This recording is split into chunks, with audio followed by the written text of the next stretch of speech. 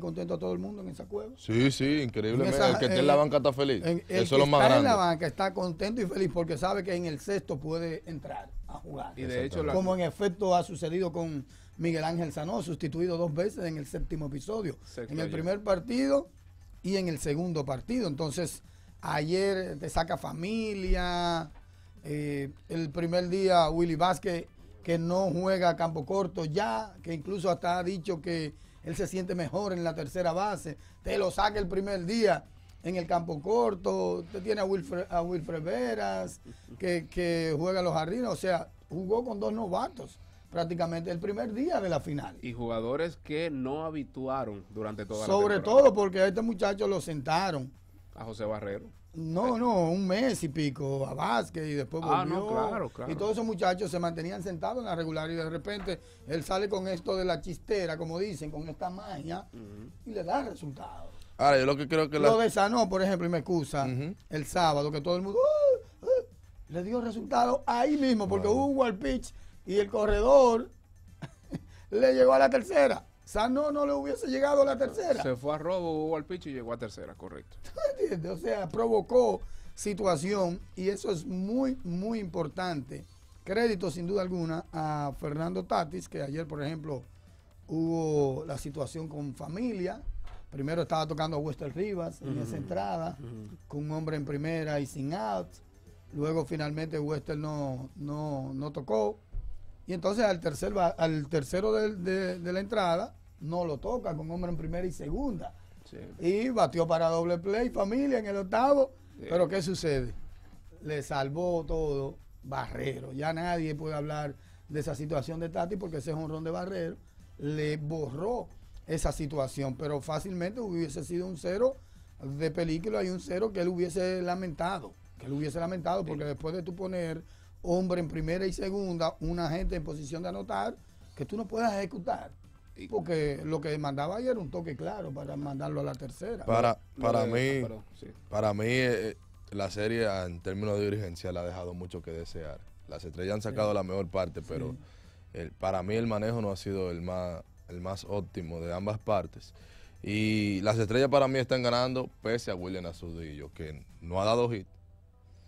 Y, y utilizando, un- utilizando, palabras, utilizando palabras de, de mi hermano David, es un carnicero en los jardines. Pero claro. Definitivamente. Mira, pero, Donde todo, menos pero daño todo el crédito, pero todo el crédito ayer en esa jugada a él. Y te voy a decir por qué. Mm. Porque estaba jugando David casi en la zona de seguridad. Sí, pero es que su accionar fue de un Pero tipo que no es Pero déjame explicar. que no es jardinero. Dilcio Probablemente tú cambies de opinión. Probablemente no.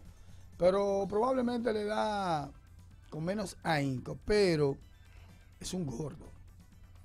Un gordito, Un gordo, David. un rodillo chiquito. Eh, él vino. demasiado bien Pero esto es lo que te voy a Rumi, decir y por eso es el crédito. Rumin, ¿quién está más che de él o yo? Usted. No, así Por- no. Pero por Ahí eso no, es el crédito que yo le estoy dando a él, porque pese a sus condiciones, el tipo vino de Caselco, como le llaman. Y le llegó esa pelota, viejo. Le llegó a esa pelota. ¿Tú sabes por qué él no dominó esa pelota? Porque ya él no tenía dominio de su cuerpo por la velocidad que- tan alta que generó. Por esa pelota le da en el pecho. Dilcio, eh, cuando- en el pecho. Dilcio, Cuando él se vino a dar O cuenta, sea, él no tenía ya el de control de su cuerpo porque tenía mil. Y para colmo de mal, mire que estamos, estamos resaltando un error, cosa que no se ve porque hay que valorarle ese esfuerzo que él hizo. Para colmo de mal, la pelota le da en el pecho y se va para allá. Y él viene y se tira y dobla y tira.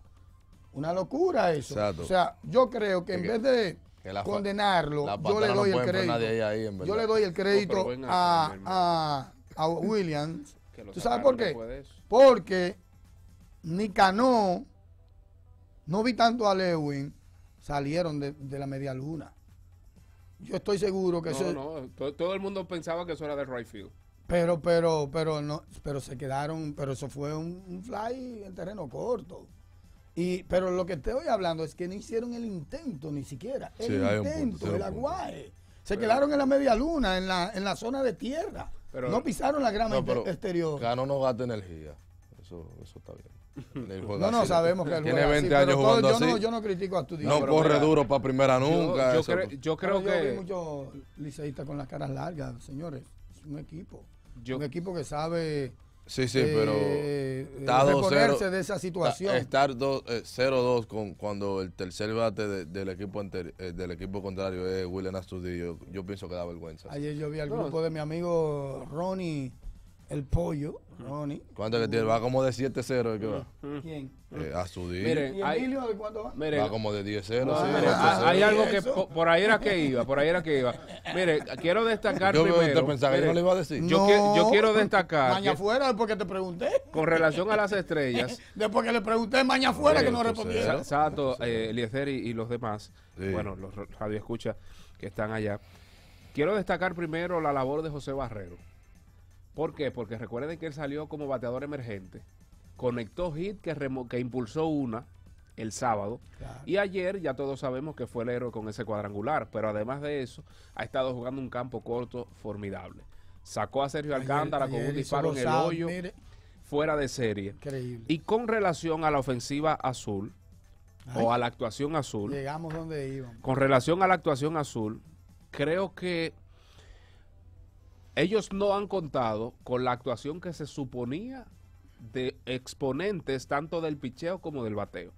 Ya les hablaba hace un Pero ratito. quien esperaba algo de Alemán Hernández, un No, pero abusador. espérate, porque yo hablé de JC Mejía, de Zach Roscoe Pero Alemán y le hablé fue de bien. Jonathan Aro. En Bien. la pasada temporada. Ah, Pero bueno, ya- pero pasado, en este round robin y en la final le ha ido bien. No le ha ido bien. Pero hablé de Aro, hablé de Aro, hablé de Aro, de Roscoe y de JC Mejía. Aro, los tres. Fueron tres come hombre en el round robin. Pero usando Ahora, JC Mejía, Jonathan Aro todos los días no pueden, no pueden. bueno, pero eso, y es- son brazos de goma. final, eso no se modifica. Pero que eso no pero se ese bullpen modifica. está lleno de gente. Pero que eso no se modifica. Ahora, que el Licey utilizó nueve lanzadores en, el prim- en la primera noche.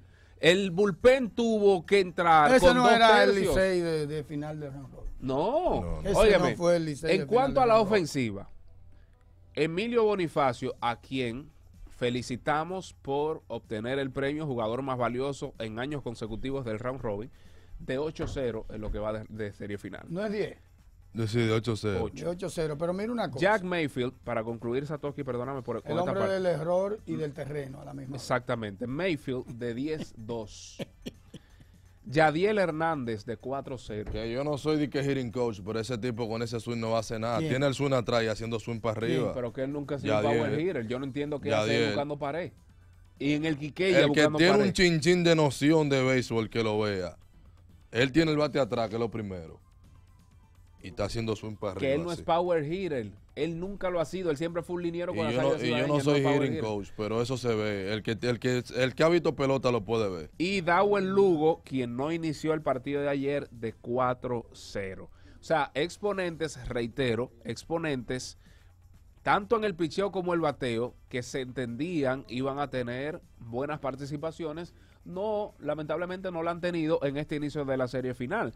También, señores, resaltemos los candidatos serios al día de hoy al MVP de esta serie, Robinson Cano, quien parece un niño de Robin- 18 Robinson años. ayer estuvo en un momento bateando 800. Sí, Sí, sí, sí. Como le- 600 y algo. Señores, Está- como está- le está... ha fallado Está como brutal, tres veces. sí, pero es como le Ha está fallado dando, como Cano. tres veces. Es como le está Le dando. Está re- dando está regando la también madre. Ahora mucho te la- voy a decir una cosa. Él se encuentra esos picheitos nobles a 85, 80. Lo va a matar le va a siempre. Yo, yo estoy sorprendido por, por la fuerza que, que está exhibiendo ahora. Tú sabes, porque ahora volvió otra vez ese poder de extravase. Ahora está relajando. Sí, le está dando... le está dando. O sea, me soy, estoy sorprendido con la fuerza, pero a la misma vez, tengo que decirlo, son picheos que no viajan por encima de las 90 No, millas. pero lo- y eso, es- claro, eso es un veterano. Claro. Es por eso probablemente que él le está dando con tanta autoridad. Porque no ha sido picheo de que a 95 ni Él hizo un 96. ajuste en su mecánica que lo, vi en el video que Luis Polonia subió trabajando con él y básicamente eh, Luis Polonia le decía que él estaba como esperando que el picheo le venga muy encima. Entonces de ahí él ha cambiado eso y eso aparentemente lo ha ayudado a conectar mejores extravases. Sí, pero no me diga que por eso va a volver a las grandes ligas. No, no, no, yo no creo. No, Grandes No, Ligas. estaba esperando No, eso. porque hay una diferencia eso. de 10 millas No, estaba esperando eso porque aquí ahora... a- a- bueno, yo ni No, voy yo vi gente. Hay una, hay decir. una diferencia de Además, yo 10 creo. Y voy a millas. decir, señores, miren, fácil. Ahora pregúntame a mí qué le está pasando al Licey. No, ¿qué le está listo. pasando a las estrellas? No, pregúntame a mí qué le está pasando al Licey. Dime qué le está pasando. Al Licey. listos todos. Que ese se están notando los huecos gerenciales Ay, concha. que no se han podido llenar en ninguna parte de la temporada Ay, con los ay, importados. Ahora, Y lo he dicho todo el tiempo y los videos están ahí. Yo no me he callado con eso. Yo no me he callado No, no, con eso- Y lo he dicho todo el tiempo. No, no Ahora dan no. crédito.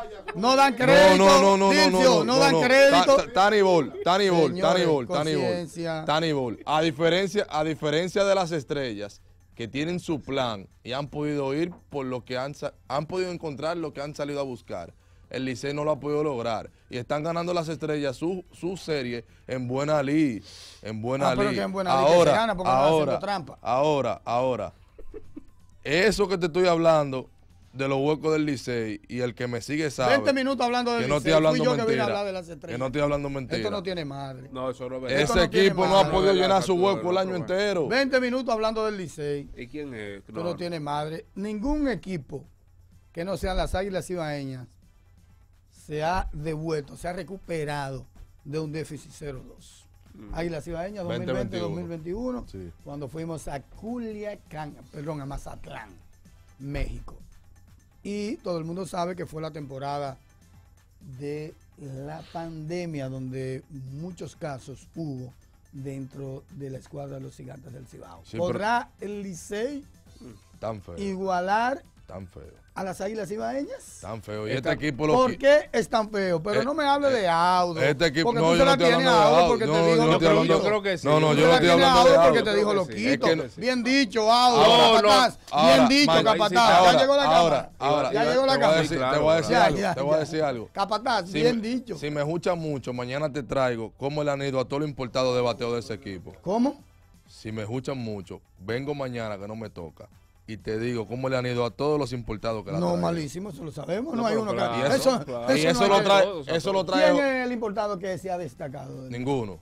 Rojas ahora, José Rojas. Ah, bueno, Pero esos sí. son tres juegos, tú no sabes, sí. una Ah, otra pero por partido, bueno. eh, ese- pero hay gente pero- que lo han votado con dos. Giurchela jugó uno. Pero la pregunta que yo me hago. No, no, crédito a las estrellas que tienen tres que años buscando ese campeonato y ya casi lo están saboreando. Yo sé, miren señores, estamos conscientes de que no hay peloteros a esta hora por ningún lado. Y cuando digo esta hora, me refiero a esta fecha, enero.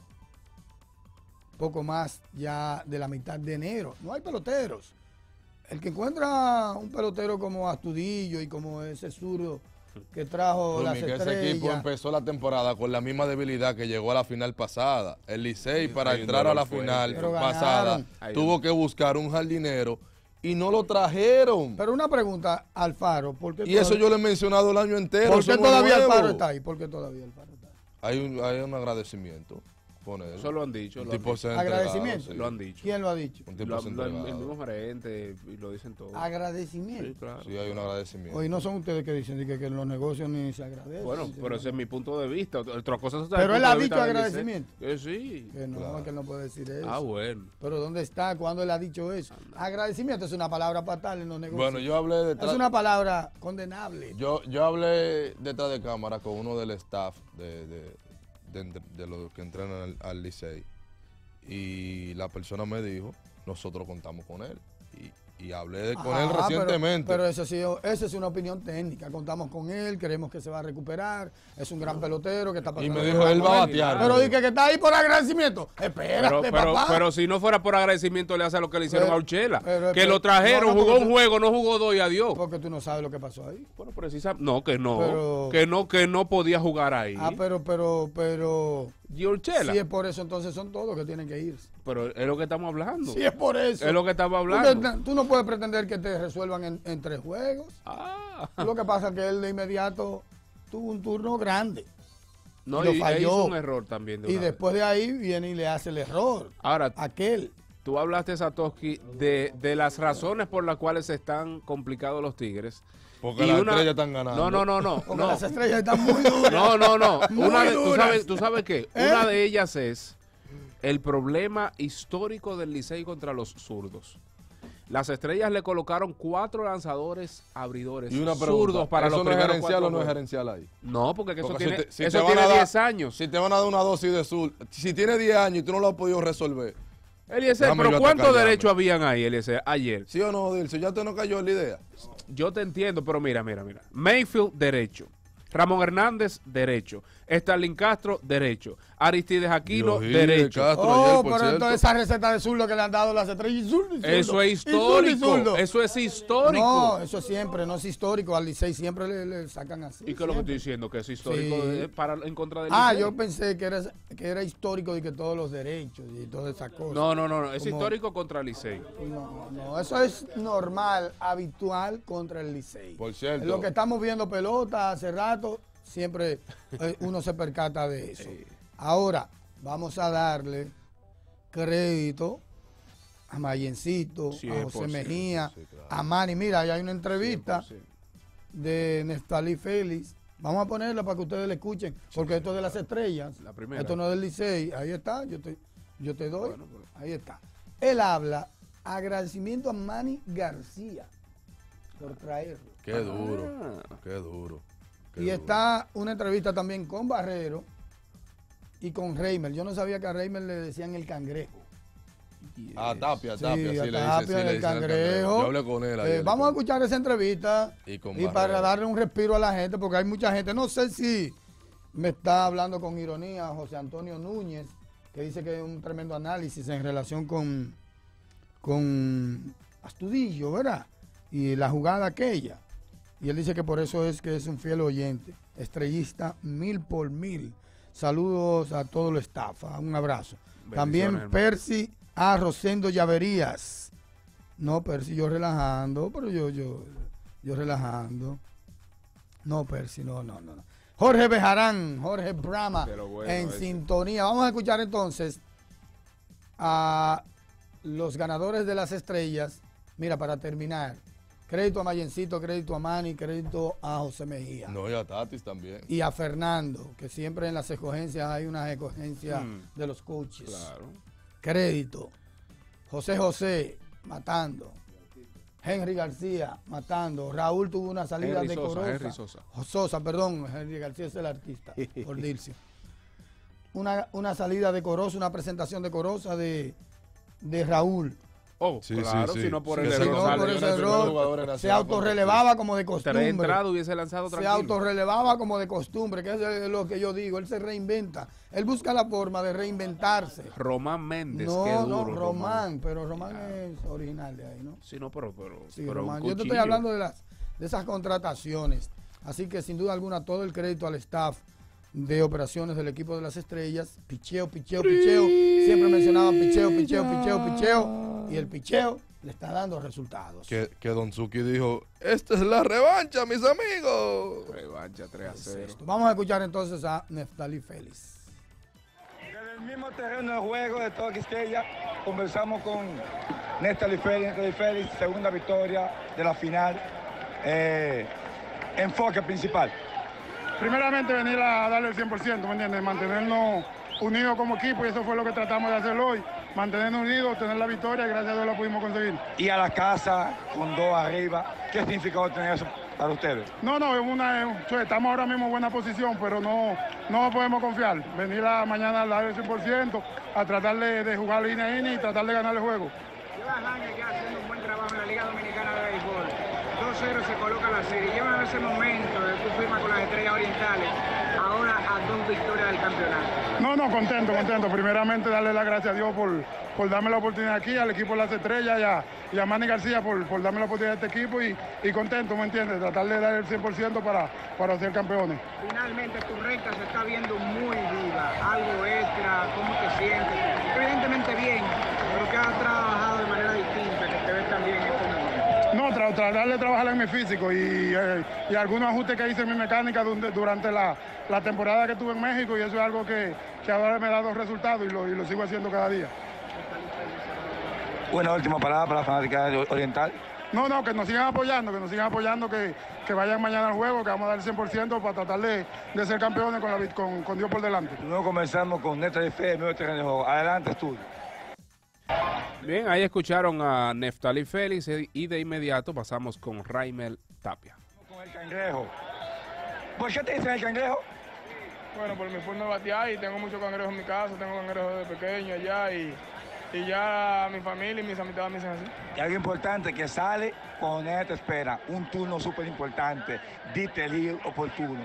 ¿Cuál fue el enfoque vital de ese turno? El cangrejo tú siempre que siempre sale de la cueva, eh, yo siempre a veces le echo su agua caliente para que salga, para que se active y, y me gustan esos, esos turnos así, tú sabes, de presión, porque ahí que uno demuestra de verdad que uno está hecho. Desde el principio tú estás diciendo, este año es verde, la victo- segunda victoria consecutiva, y a la casa arriba de dos. ¿Qué significó tener eso para ustedes? Es muy importante este, el enfoque, como te digo, y, y siempre voy a mantener eh, lo mismo. Vamos a seguir dando palos, vamos a seguir ganando y enfocado y unidos. Una última parada para la franquicia oriental. Que nos sigan apoyando, que este año vamos a ser campeón Dios mediante. Primero Dios y, y nosotros. Estuvimos conversando con Jaime Tapia desde el mismo terreno nuevo. Adelante, estudio. Bueno, de inmediato, por último, tenemos al campo corto de las estrellas, José Barrero. Conversamos con José Barrero. José Barrero, no te vimos ayer en la INO, pero inmediatamente de emergente tomaste un doble. La mentalidad siempre activa.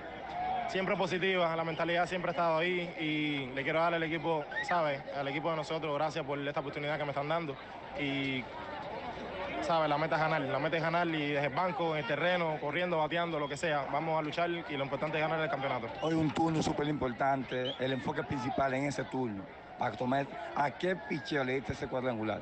Sin que adentro, pero siempre estaba buscando mi, mi, mi lanzamiento afuera, gracias a Dios le pude conectar y gracias a Dios por ganar, ¿sabes? Esta victoria que es muy importante para el equipo. Segunda victoria, hino de la casa con dos arriba. ¿Qué significó tiene eso para ustedes? Se siente bien, nos da, ¿sabes? El gusto de confianza, pero no nos podemos conformar, como siempre digo. Vamos a salir a guerrear mañana y a luchar por el tercer, ¿sabes? Por el tercer, por la tercera victoria. Una última palabra para la fanaticada oriental. Que nos sigan apoyando, que vamos a dejar el corazón, el alma, todo aquí en el terreno y vamos a quedar campeón este año. Estuvimos conversando con José Barrero desde el mismo terreno de juego. Adelante, estudio. Bien, gracias a Cristian Joan Frías, reportero premium de Mañana Deportiva. Qué duro. San Pedro de Macorís y le quitó la plaza a David Terrero, que ya es una estrella y no baja al terreno de juego. Así que Ay, gracias Dios a Cristian. Joan, muy cariñosamente, mi pai. Muy duro mi pai con los pasteles. Ya no como un pastel en hoja más. Comí pastel antes de ayer. Comí pastel en hoja de San Pedro. No, no era. Ayer que me llevó mi buen amigo John Carmelo Gil desde San Pedro para el mundo. Y hoy voy por más. Hoy voy por Don Plines a San Pedro. ¿Cómo? Sí, ya eso está seteado. Rooming, Una pero yo no lo usted usted se en pierde. San Pedro. No, un rooming porque yo estoy en una comitiva ahí que tengo. ¿Y a que- qué hora que uno se va que para está allá? cuarta.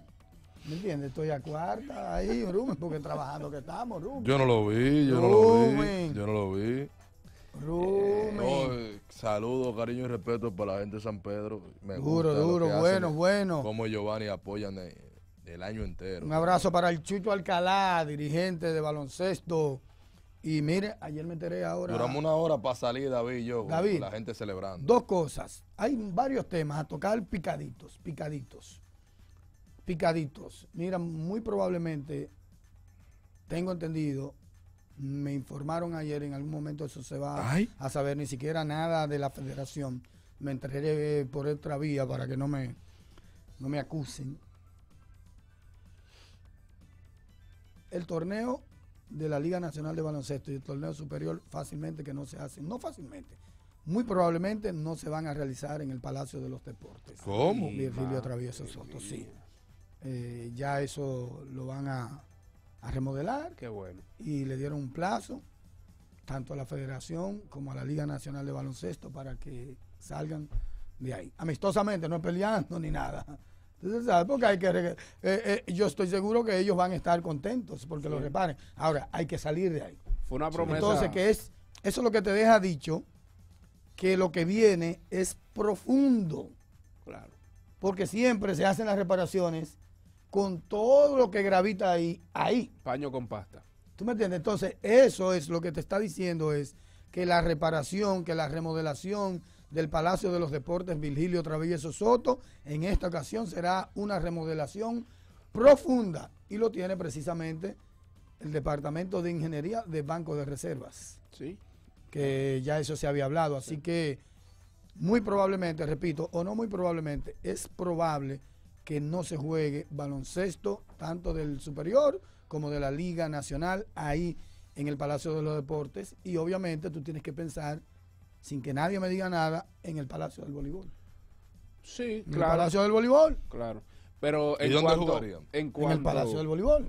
En cuanto al sub, bueno, en cuanto al superior me Bueno, gusta, ¿qué? me gu- no, no. En ¿sabes Mauricio Báez. No, pero espérate. En cuanto al superior me gusta un poco. ¿Tú sabes por eh. qué? No, pues yo estoy, yo estoy ahí de todo el mundo. En cuanto al superior me gusta un poco esa sede porque el baloncesto va al barrio. O sea, va a la sede del equipo. No sé si me voy a entender. Mauricio va a jugar en su barrio. En este caso, San Carlos podría jugar en su barrio. Me apena mucho por Huellas del Siglo, que no tiene un tabloncillo adecuado Echado. como para administrar o para tener partidos de esa magnitud. Y quizás uno que otro. Yo, Pero yo por estoy de ese lado acuerdo con gusta. eso, puntuales, partidos puntuales. Claro. Partidos puntuales, que tú sabes que no va a ir mucha gente. Y usted, desde el primer día, usted dice semifinales, se van a jugar en el Palacio de voleibol. del Voleibol. Claro, claro. Por ese lado me gusta mucho. Yo creo que sí, estoy de acuerdo en esa parte. Claro, el equipo de Huellas del Siglo no tiene un aforo de esa naturaleza como Mauricio Báez y como San Carlos, pero los Prados no nosotros, tiene ni siquiera graderías. Exacto. Los Prados tienen dos tabloncillos Grandísimo. que bien pudiesen armarse algunas graderías ahí de estas movibles. En el caso del Millón tiene unas graderías, o dos. El Millón tiene una de un lado solamente. Parecido Si a la de recuerdo. Parecido a la de Lomina. Sí. ¿Cuál es el otro club? San Lázaro tiene la suya de lado y lado. Sí. Eh, ahí pueden caber dos mil personas probablemente. No, no, mucho menos. San Menos, Lázaro cabe mucho 1500 menos. personas, sí, 1500. Ah, No, como- no, no, ah, no. como- El ah, tipo la Mauricio Báez, sí, menos, mucho menos.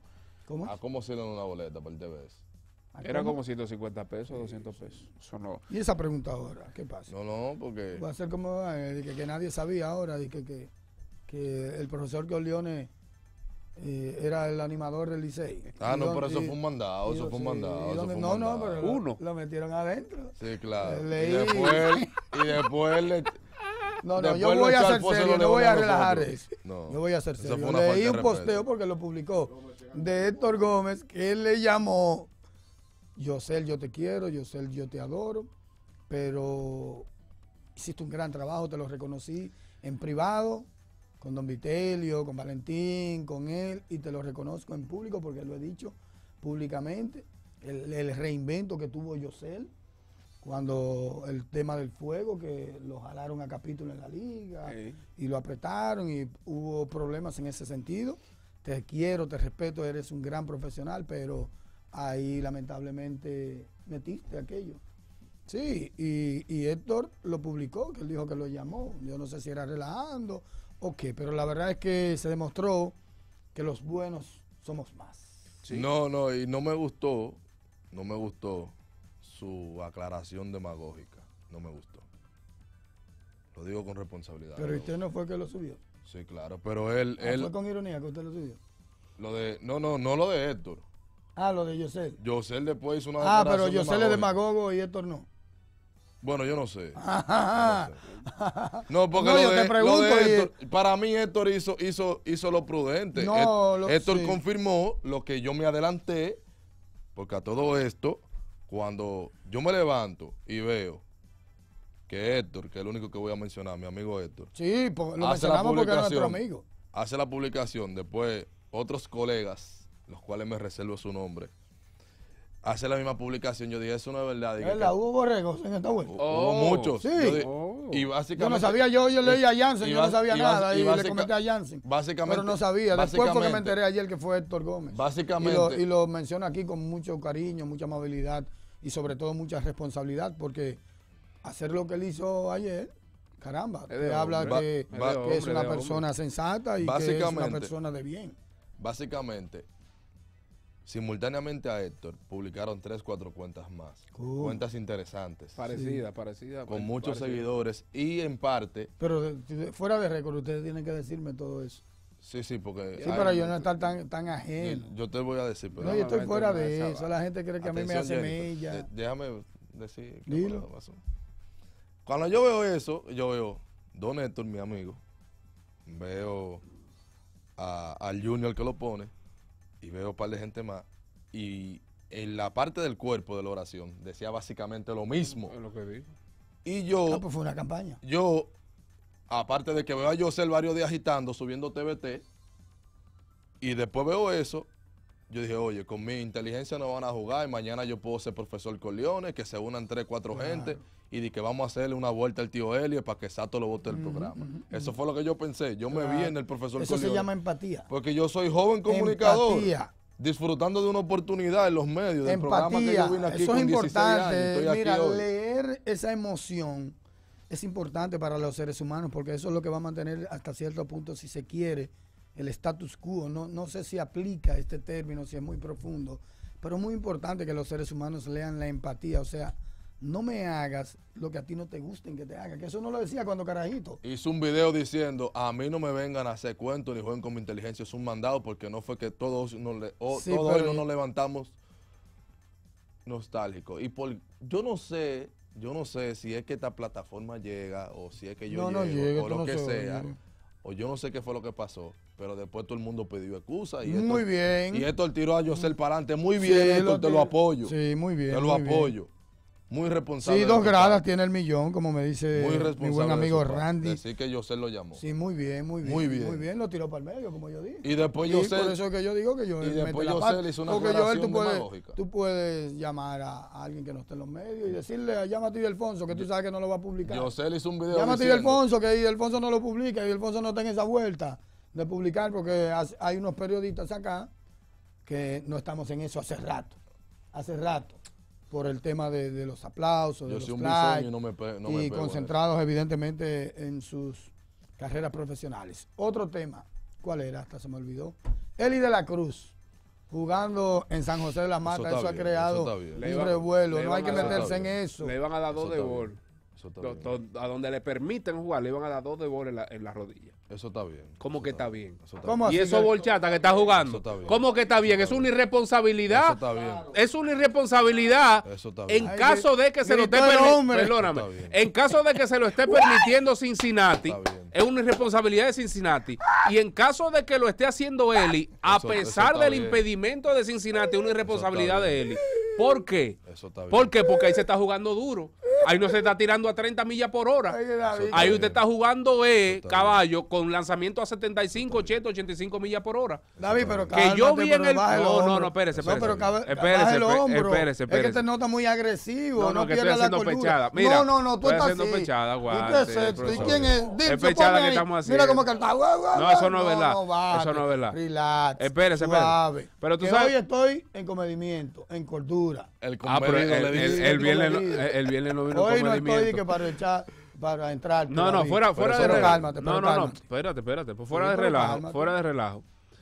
Repito, es una irresponsabilidad de Cincinnati en caso de permitirle a Eli jugar ahí y no participar en Lidón. Si Primero, se espérate. lo permitieron, Eso es lo que estoy diciendo, en caso de.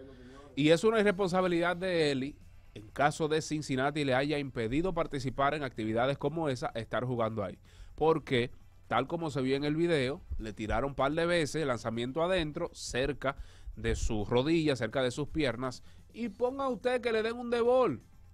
Ah, ¿dónde te dieron un debol? Jugando en San José de la Mata, profesor. Se va a perder los campos de entrenamiento por estar Eso está jugando bien, ahí. eso está bien, eso Terminaste. está bien, No, no, bien. yo lo veo Eso así. Irresponsabilidad de cualquier lado es que se le permita. vista. Yo le doy una lectura un poquito más para allá. Eso está bien.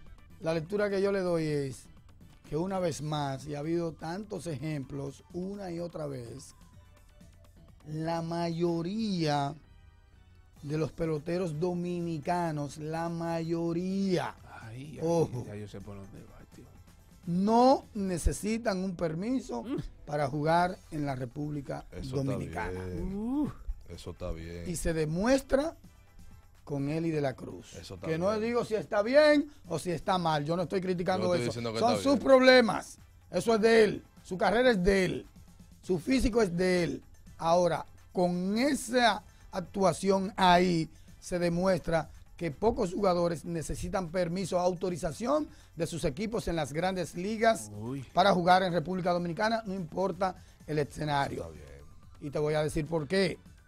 ¿Tú crees que él no sabía que esa grabación iban a circular en las redes. Como tal, y que se iban a convertir en grabaciones virales, en videos virales. Y que por ende iban a llegar a los rojos de Cincinnati. Porque hay gente que está mencionando hasta los rojos de Cincinnati, las bien. cuentas de la mención, o sea, ¿tú te Liceísta, dolido, mencionando a Cincinnati. Pero eso está bien porque si su no, carrera es de él. El- Eliezer, Eliezer, lo subieron cuenta gringa. pero que su No carrera es de de él. que fueron los. ¿Dónde está la irresponsabilidad? Cuenta, cuenta ¿Dónde- gringa, profesor. Pero me entendieron lo que Sí, quise decir? Claro, lo del ¿Qué permiso es una opinan de lo que dije? Eso, el permiso es una Pues yo lo dije así, claro. Pero vamos otra vez. Para mí, Tú me vas a decir punto. que ellos no saben, que Sí, Cincinnati no sabe que él está jugando ahí. Vamos otra vez al punto. O que ¿De él no sabía de él. Ya él la gestiona como le dé su hermosa deseo y placer.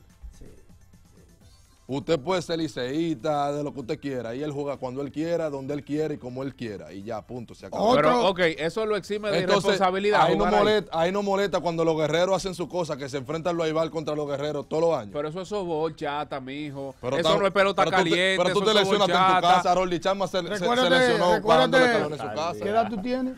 26 hasta ahorita. Yo creo que tú tenías dos años, un año, cuando Kiko Tabar, ministro de aduana, hacía un tradicional juego con los peloteros de las grandes ligas en el play de aduana, por allá. Todos jugaban ahí ese softball. Ciertamente lo que te, con esto te digo que David te dice que es softball, eso es completamente diferente, es más Chatica. A benigno, se más cayó benigno, más noble. En entrenamiento. Es que cuando tú te vas a... uh, lo haces saliendo de tu casa, levantándote totalmente, de la cama. Totalmente. Por eso que yo no creo. Trevor Bauer se cortó un dedo con un dron en su casa. Dos cosas rápidamente para irnos a la Y a pausa. Gordo no lo mordió un perro. Nando Ese- Tatis. O no me hable de eso. ¿Qué va a pasar entonces. con Nando Tatis? Él juega donde tú ¿En qué quieras. Fernando Mira, en Villa Tatis. va- va- hay un torneo de eso. ¿Va a jugar o no Fernando Tatis? No va a jugar. Es No va a jugar. es No un va a irreverente. jugar. Eso está bien. No Hay una táctica ahí. Hay una táctica del temor. Como hizo Licey una vez con Pedro Martínez. Va a pichar Todavía- Pedro Martínez. todavía lo están Fue esperando. Pedro Martínez Aquino. Pero eso está En bien. Victoria Aidó hay un Pedro Ok, Martínez A mí me comentaron algo ayer. Después yo lo confirmé con gente mía de las Estrellas Orientales. Me dijeron que no, que eso no, no se está trabajando como en efecto. Sí, se está buscando el permiso y todo, ellos no han perdido la esperanza. Pero había un tema dije, del seguro que me lo desmontaron. Llamé a una segunda persona que era el que supuestamente estaba bregando con el seguro. Porque me dijeron, no, esa persona ya lo trabajó, llegó, dije que una bulla que hubo ahí en el quinto episodio, que nadie enten- entendió por qué, dije que fue por eso. Antes de la pausa, yo quiero hacer una pregunta. Dije que fue por eso, porque llegó el seguro. Y yo. O sea, que todo el mundo Yo sabía. quiero- Sí, dije que todo parece, yo no sé cómo lo llegaron. Yo quiero hacer una pregunta. De, bo- de boca en boca, de boca en boca. ahí. Usted- Llegó el seguro, llegó el seguro. Usted como experto, experimentado, que es una redundancia eso. ¿Por dónde es que hablan los equipos con los otros equipos? Porque siempre dicen que estamos esperando el permiso. Ellos hablan por telegrafía, mandan una paloma mensajera. Chacho. Y que estamos en No, y que comunicación. cambian, no que de nada. opinión de un minuto a otro. Sí, Saludos para Percy Rosendo allá ¿Cómo es en que hacen San eso? Pedro. ¿Cómo es que hacen eso? Dilcio? Alexi, enfócame aquí y enfoca allá de una vez cuando termine mi pregunta y nos vamos a la pausa. Se quedó otro tema, pero ese tema lo voy a tratar con los muchachos fuera de la pausa. Dilcio Matos, Alexi Rojas, amables oyentes. Emilio Bonifacio, MVP por segunda ocasión del round robin en Lidón. La pregunta del millón, ¿dónde está la maquinita? ¿Dónde está la maquinita?